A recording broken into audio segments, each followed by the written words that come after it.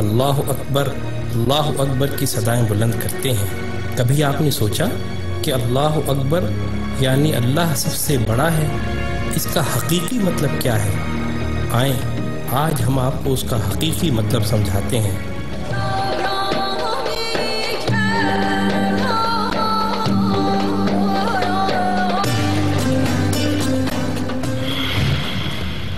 جس زمین پر ہم رہتے ہیں وہ ایک عام آدمی کے حجم کے مقابلے میں تیس ارب کھرب گنا بڑی ہے۔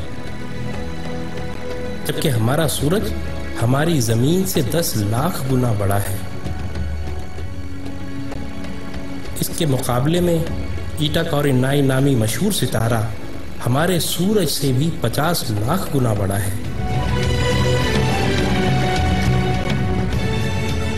اس کے بعد بیٹل جوس نامی ستارے کا نمبر آتا ہے، جو ہمارے سورج سے تیس کروڑ گنا بڑا ہے۔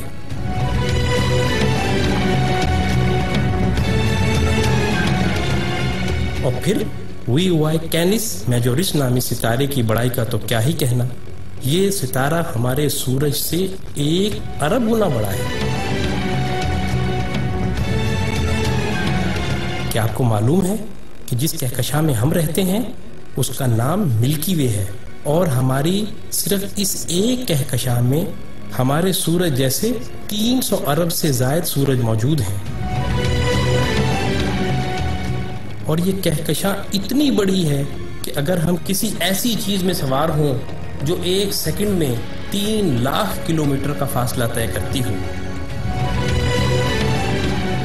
یعنی ایک سیکنڈ میں زمین کے ساتھ چکر لگانے والا ہو، تو اس کو بھی ہماری کہکشاں کو پار کرتے کرتے ایک لاکھ سال لگ جائیں گے۔ اندازہ ہوا نا کہ ہماری کہکشاں کتنی بڑی ہے لیکن نہیں، آئیں، ہم آپ کو اپنی پڑوسی کہکشاں میں لیے چلتے ہیں، جس کا نام اینڈرومیڈا ہے۔ وہ ہماری کہکشاں سے دو گنی ہے۔ یعنی دو لاکھ نوری سال وسیع اور ریز لیکن یہ بھی چھوٹی ہے۔ ایم ایٹی ون نامی کہکشاں ہماری کہکشاں سے ساٹھ گنا بڑی ہے۔ جبکہ I C one zero double one نامی کہکشاں ہماری کہکشاں سے چھ سو گنا بڑی ہے۔ اب سمجھ آ رہا ہے نا؟ اللہ اکبر کا کیا مطلب ہے؟ اللہ اکبر۔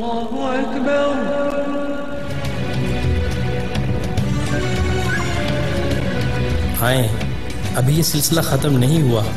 جیسے ستاروں سے کہکشائیں بنتی ہیں، آپ کو معلوم ہے کہ اسی طرح کہکشاؤں سے کلسٹر بنتے ہیں۔ اور جس کلسٹر میں ہماری کہکشاں واقع ہے، اس کا نام ورگو کلسٹر ہے۔ اور صرف اس ایک کلسٹر میں سینتالیس ہزار کہکشائیں ہیں۔ اور معاملہ ابھی یہیں ختم نہیں ہوا۔ کلسٹرز بھی آپس میں مل کر سپر کلسٹر بناتے ہیں۔ اور جس سپر کلسٹر میں ہم رہتے ہیں، اس کا نام لوکل سپر کلسٹر ہے۔ اور اس سپر کلسٹر میں سو کے قریب کلسٹر ہیں۔ اور اس سپر کلسٹر جیسے کم و بیش ایک کروڑ سپر کلسٹر ہماری کائنات میں موجود ہیں، جو ایک عظیم جال میں معمولی نقطوں کی مانند نظر آتے ہیں۔ اور ان سب کو صرف ایک ذات یعنی اللہ تعالی نے بنایا ہے۔ تو اندازہ ہوا کہ اللہ کتنا بڑا ہے، یہی وہ کبریائی ہے جس کو قرآن سورہ زمر میں یوں بیان کرتا ہے، اور انہوں نے اللہ کی قدر ہی نہ کی، جیسی اس کی قدر کرنے کا حق تھا۔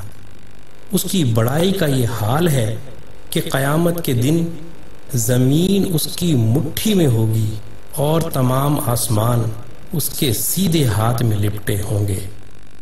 یہ ہے اللہ اکبر کا صحیح مطلب۔ اور یہی وہ عظیم جملہ ہے جس کو سننے اور سمجھ لینے کے بعد سوائے انتہائی متکبر کے ہر ایک شخص کا سر سجدے میں چلا جاتا ہے۔ اللہ اللہ